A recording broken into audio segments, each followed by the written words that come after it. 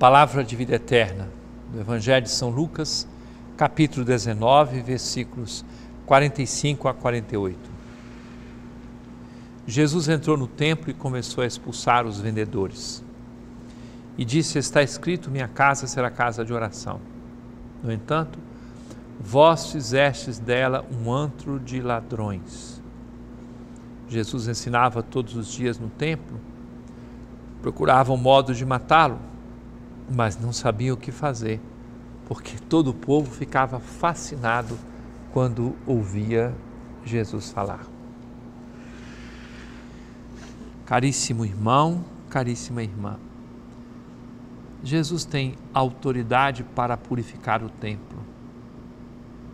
Ele expulsa todos os vendedores e vai dizer: Minha casa é casa de oração o Evangelho de São João, que narra este episódio no início, nos primeiros capítulos, ele fala que os discípulos entenderam depois porque Jesus, quando purifica o templo e fala até de destruição, diz assim: falava do templo do seu corpo.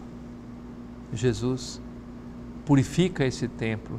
E eu quero hoje ligar com você essas duas coisas: purificação do templo, corpo de Jesus corpo de cada um de nós, templo do Espírito Santo.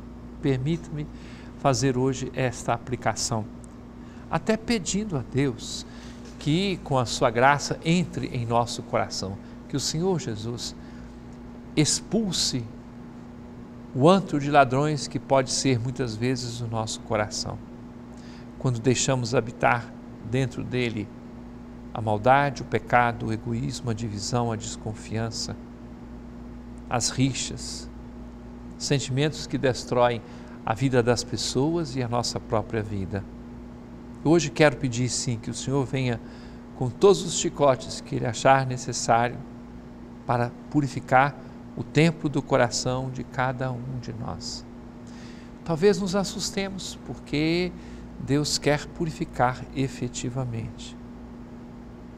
Esperemos que da nossa parte não exista qualquer desejo de, de matar, de destruir, de rejeitar Jesus que quer purificar-nos. Ao contrário, cada um de nós, assim purificado, esteja fascinado por Jesus Cristo, por Sua palavra, por seu Evangelho, pelo seu seguimento.